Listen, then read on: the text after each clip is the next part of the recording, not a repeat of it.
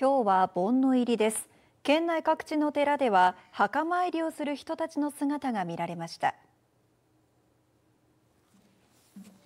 このうち佐賀市本庄町の高殿寺では本殿で住職がお経を唱える法要が行われ訪れた人は先祖の霊を慰めていました。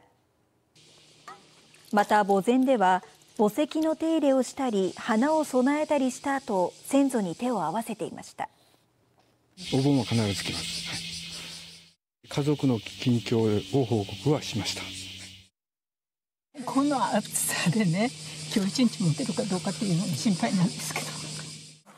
みんな元気にしてますということだけですね。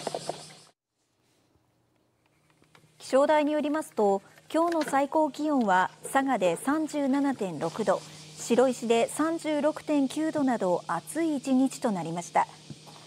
また明日の最高気温は佐賀が38度伊万里が35度と予想されていて明日も熱中症警戒アラートが発表されています。